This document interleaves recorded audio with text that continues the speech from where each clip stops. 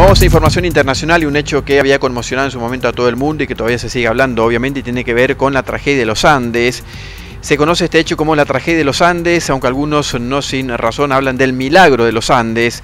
El equipo uruguayo de rugby amateur salió el 12 de octubre del año 1972 desde Montevideo con destino a Santiago de Chile. Debía jugar allí un partido contra un equipo inglés. El piloto del vuelo lamentablemente hizo unas malas maniobras, que tenía mucha experiencia, pero hizo una mala maniobra allí cuando estaba cruzando los Andes y la parte trasera del avión se desprendió y el fuselaje quedó apoyado sobre un glaciar a 3.570 metros sobre el nivel del mar, a unos 80 kilómetros al este de la ruta planificada.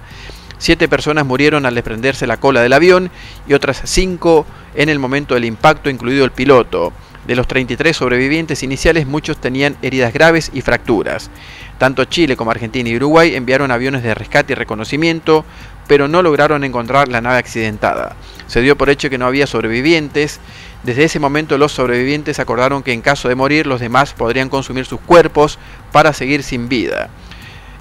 así se forjó uno de los puntos más polémicos y curiosos de esta historia sin otra alternativa, sin comida y sin nadie que lo buscara, debían comerse a sus propios compañeros muertos. Algunos lo hicieron y otros se negaron o no pudieron hacerlo. 17 días después del accidente, el 29 de octubre, un terrible, una terrible avalancha de nieve golpeó el avión mientras los sobrevivientes dormían. Mató a ocho de ellos. El resto quedó encerrado en el fuselaje durante tres días.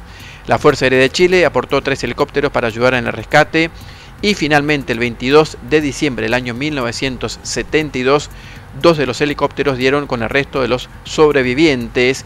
Solo pudieron llevar a la mitad de ellos, el resto fue trasladado al día siguiente. La pesadilla había terminado. Así que se cumplen, reiteramos, 49 años de rescate de los sobrevivientes de la tragedia de los Andes.